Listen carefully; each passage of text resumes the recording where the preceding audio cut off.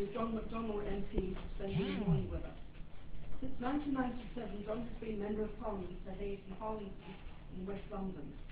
Before that, he was a member of the Greater London Council, head of the policy unit at Camden Borough Council, chief executive of the Association of London Authorities, and chief executive of the Association of London Government.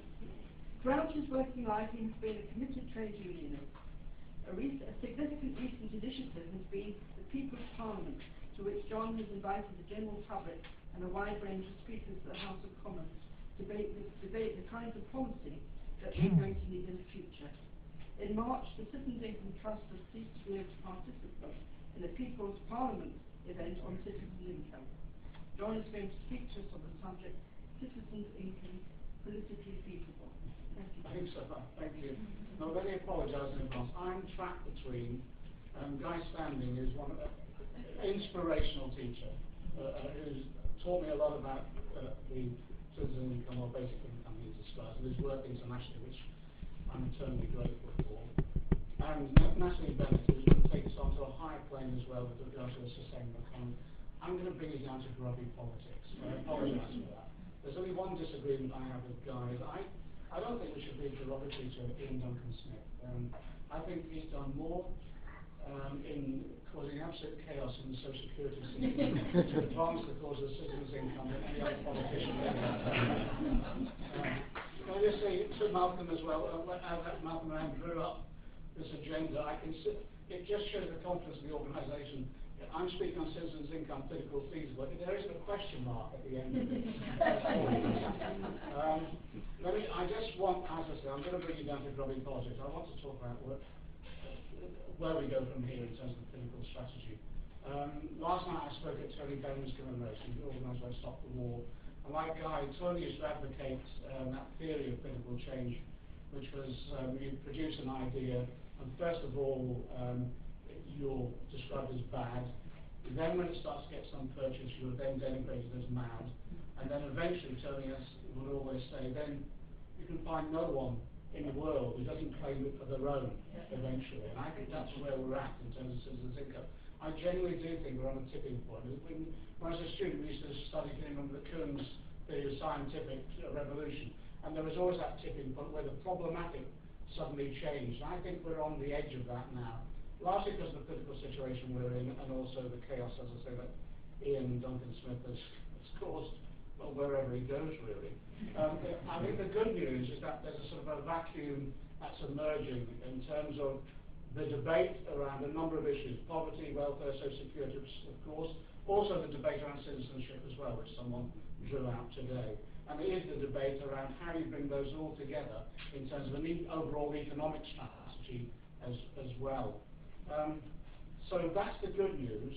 Uh, the bad news really is that it's, my view, is not going to be easy to insert citizen income into that gap, and it's not going to be immediate or overnight.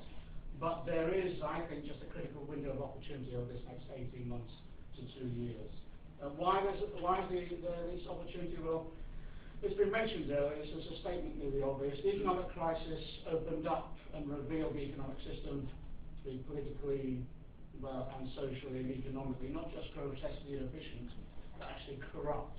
I always use that analogy of the Wizard of Oz, you know, when they eventually get at the end of that yellow brick road to see the wizard, and then all of a sudden the curtain is pulled behind uh, across, and the, the wizard is revealed as just a man pulling a whole range of levers, microphones, etc. And that's what happened in the economic crisis. When the curtain was pulled across from the City of London, you realise not only were they corrupt, not only were they incompetent, but they never understood the system either. The algorithms, they never knew either. And there was some poor PhD student pumping these out on a regular basis that they were speculating on. And it revealed, I think, to the general public and most people in the country, the political system was corrupt and inefficient as well because it allowed this to happen. The, um, the lack of regulation, the encouragement of the free market, so the whole system plays. And there is that opportunity during the crash to expose all in all its gory detail the incompetence, the inefficiency, the injustice, and the unfairness in all its detail.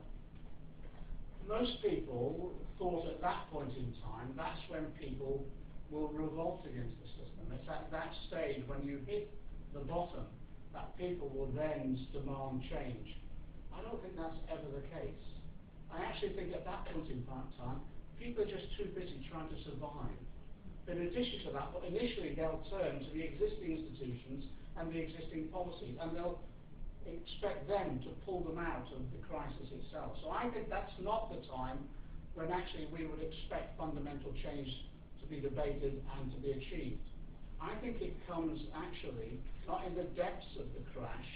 It comes, ironically, I suppose, when we're coming out of the recession itself. I think people start looking seriously for change um, when they feel that that's slightly bit more secure. When issues are being debated more widely, and there's, there's that room to debate them because you're just emerging from, from the crisis itself. But when they're not seeing that they personally are sharing in, sharing in the end of the recession and the growth and the distribution of the rewards of coming out of that recession. And what's interesting, all the figures that have uh, come forward is that the, since the last 18 months, 95% of the benefits of coming out of the recession has gone to the top 10%. And I think that's the period in which the real questions start being asked and options open up.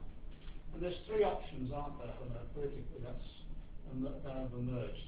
First of all, the continuation of everything as before, so it's clinging on to existing institutions and the policies and programmes, and that's the coalition government policies, plus an element within the Labour Party as well, so it's just going on as before. There's a second option, and that's the politics of well, despair and division. Uh, and that's the politics of youth, basically. You find a scapegoat because people are desperate, and you identify that scapegoat, and you use xenophobia, nationalism, and racism to garner support and offer that element of a solution to people. But there's another element, which is the politics of hope and solidarity. And I think that's the politics that's emerging and it's emerging, and you can you can get the cast of actors together if you want. Sections of the traditional Labour Party, yes, within it, although there's still neoliberals there. The Greens, elements within the Lib Dems who are now completely dissatisfied with the coalition, wider elements within the civil society and social movements in particular.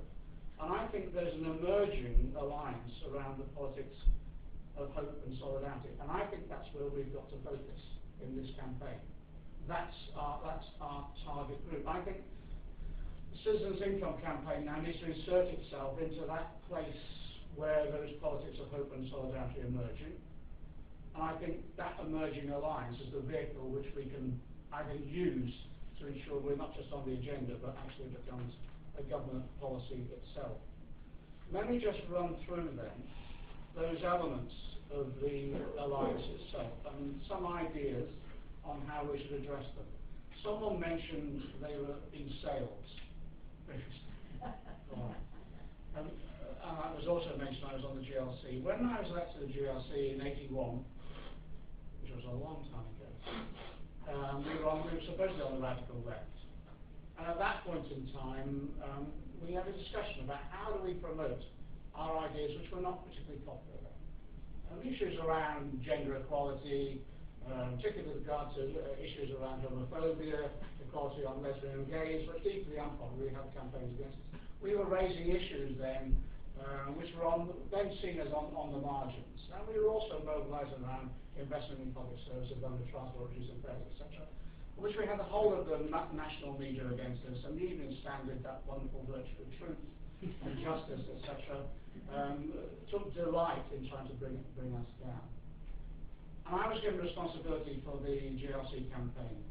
So we looked at what modern mechanisms of marketing and sales could we use at that point in time. So we brought together, I think we're the first political group in that brought in a, a marketing agency, BMP, Boase Massimi and Pollitt. And we were polling on a daily basis, on a daily basis. And I hate the expenditure, but we were spending money beyond our wildest dreams. And it wasn't to ask people what did they want, it was actually saying, this is what we want to do, what do you think about it? And it was also about testing, it was testing the words and the way in which we would promote that idea. And in marketing terms, it was theme and scheme.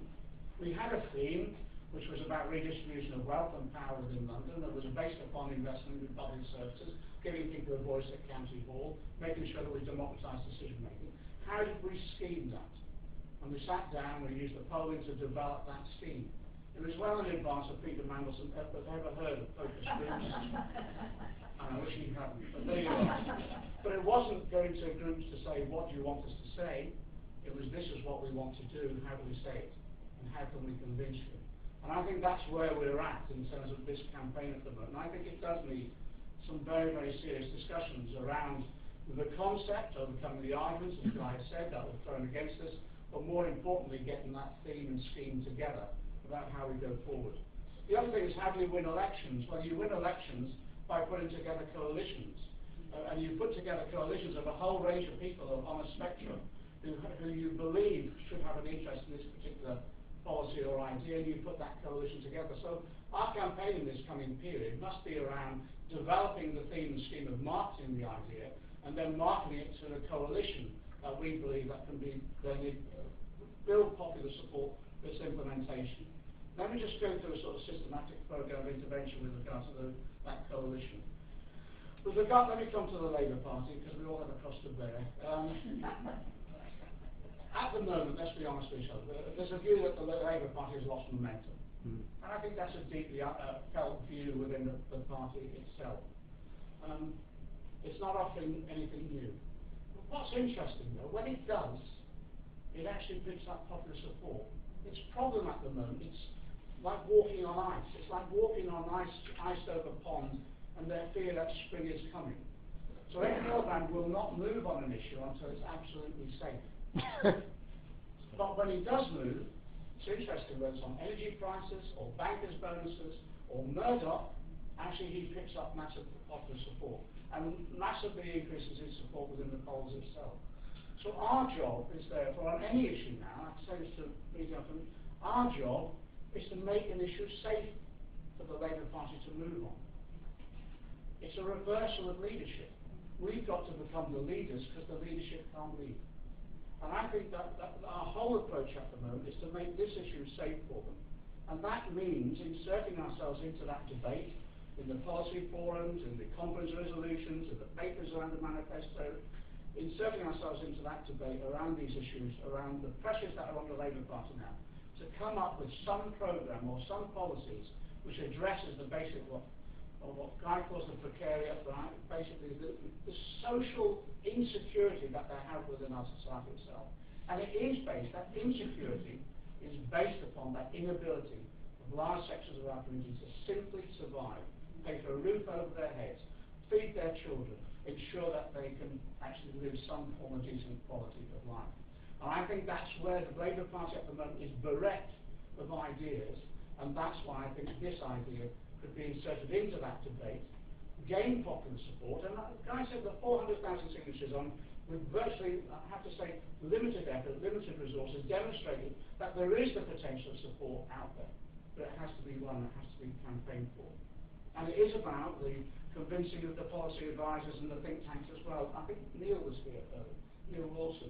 Uh, again, it's, it's working with groups like Compass, like IPPR, Labour List and all those other vehicles that there are to actually get that message out and to engage in that debate. But to engage in it in a way where organisations not convinced at the moment can throw those hard questions and we can then develop the answers themselves. What about the Lib Dems? What about the um, I think they know now they're facing a cataclysm. Last night was just another example of that.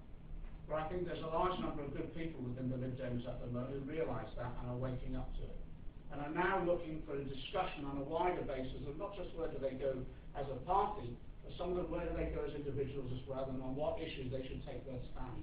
And I think this is one of them that will be attractive to a large number of Lib Dem members, councillors, even MPs that we be engaged in this debate.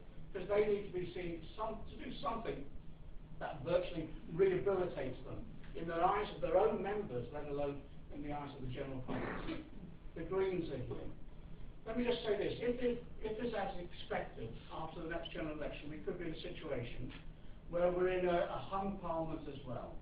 The Greens could play a key role, even if, even if it's just Caroline, but maybe more. working with elements within the Lib Dems, certainly elements on the left of the Labour Party, of making sure that this issue is on the agenda of any talks that come around a coalition forming government.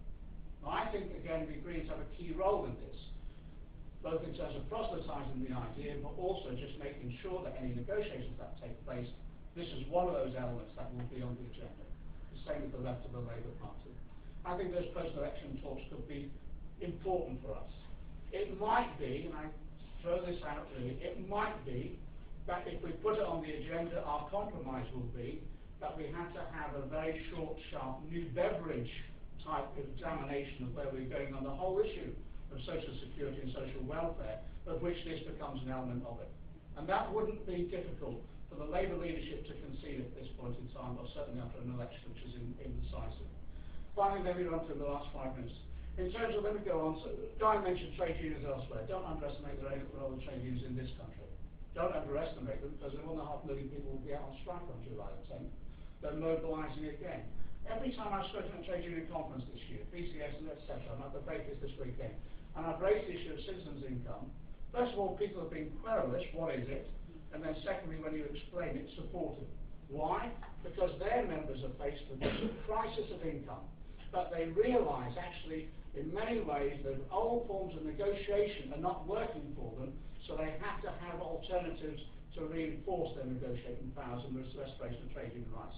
So I think this will be wildly popular with trade unions. Can you imagine getting the traditional mechanisms I know, but a resolution through an organisation like Unite, which is now recruiting community members, not just members of work, so therefore it's relevant to those that have no income, getting to Unite, then onto the TUC, and then we have a consolidated position on citizens' income for the trade union movement. That still represents six to eight million people in this country.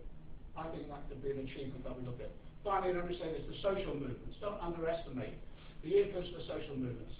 Three years ago, I was at the founding conference of Disabled People Against the Cuts, and also that Triangle was set up in, in, in, um, in Scotland.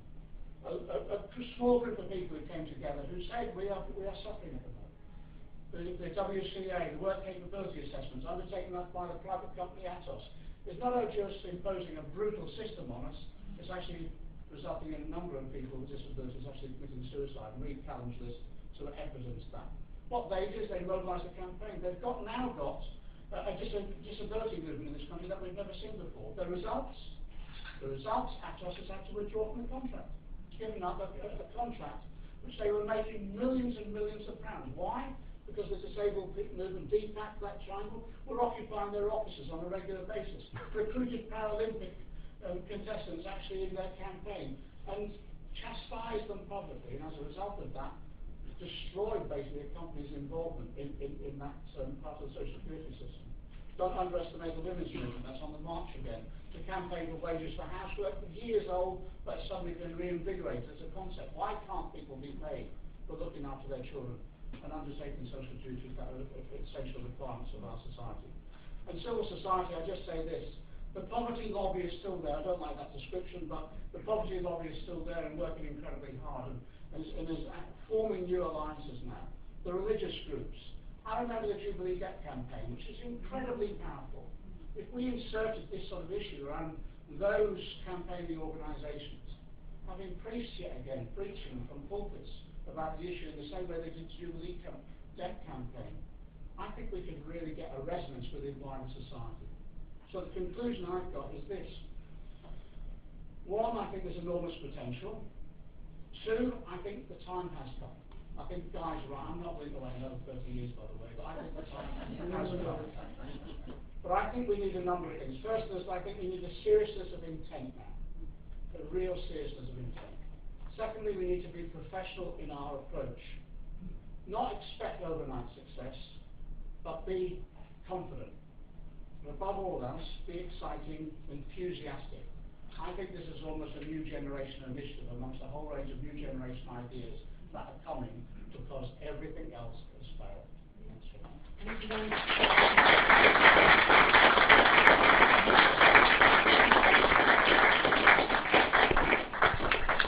we've had a terrific morning so far. Now, I did mention I'm going to have a comfort break now, because otherwise we're sitting for two and a half hours, which is quite uncomfortable. Back in the minute, guys. Can we get that